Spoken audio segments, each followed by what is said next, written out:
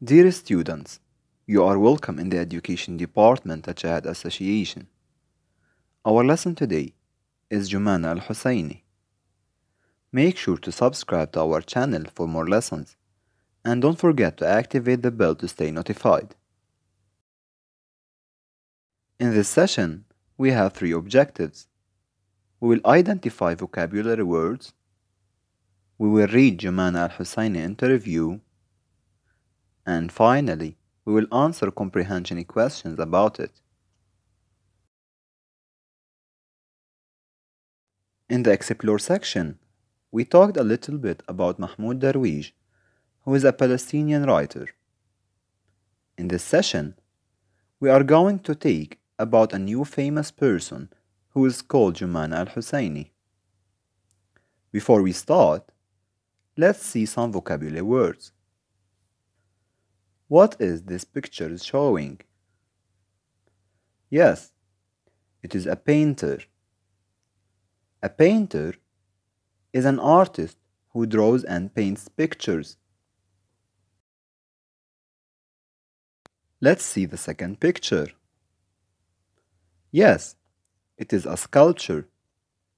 A sculpture is a statue made from wood, stone, or clay. The final picture. It is a sculptor. A sculptor is an artist who makes sculptures. Now, we will introduce Jumana Al Husseini. She is a famous Palestinian painter and sculptor. She was born on April 2, 1931 in Jerusalem. She studied political science at the university in Beirut.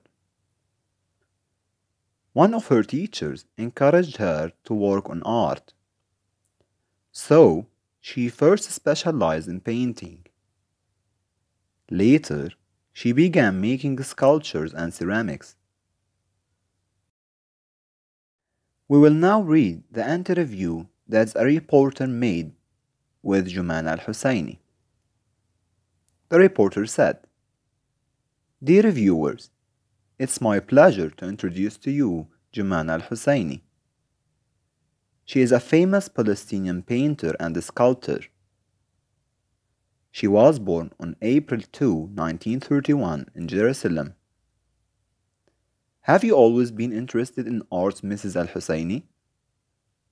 Jumana said, Yes, but only as a hobby in my childhood. Then, when I studied political science at the university in Beirut, I also took courses in fine arts. So I did. I first specialized in paintings. Later, I began to create sculptures and ceramics. The reporter said, And now you are very famous. Tell us a little about your paintings. Jumana replied, Many of my paintings are about my childhood memories of Palestine. They are about the birds, the flowers, the butterflies, and the greenery. They are about the windows and doors and the skies of Palestine. My early paintings were bright but with minimal coloring. I wanted them to be dreamlike. The reporter then said, Later, you also painted abstract images. Jumana replied, Yes, I think that abstract work can be very powerful. The reporter replied, I heard that you also work in embroidery. Is that true? Jumana said, Yes, I learned this craft from my mother in embroidery and tapestry. I can use the patterns and designs of all Palestine costumes. The reporter said, You have exhibited your work all around the world. People have seen your art in the Arab countries, as well as in London, Paris, New York, Tokyo, Roma, Stockholm, and many other cities. You have also received awards for your work. Jumana said, Yes, in 1999, I received the Palestine Award for the Visual Arts. The reporter said, Thank you for being with us today. Jumana replied, My pleasure. After we read the interview that was made with Jumana Al Husseini, let's, re- let's read and then answer the following comprehension questions.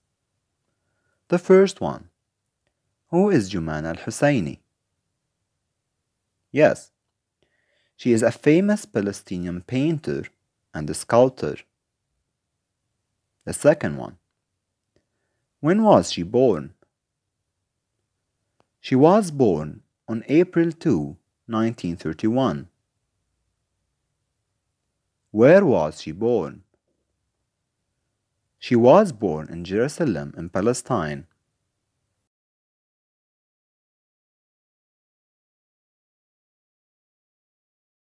Let's continue and then answer. What courses did she take? She took courses in fine arts.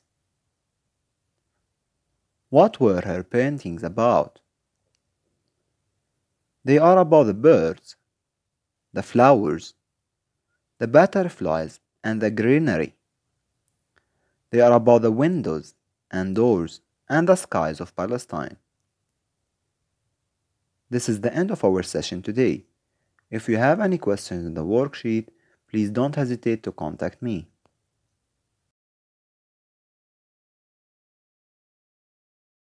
Thanks for watching. If you like this lesson, make sure to subscribe to our channel for more. And don't forget to click the bell to get all updates.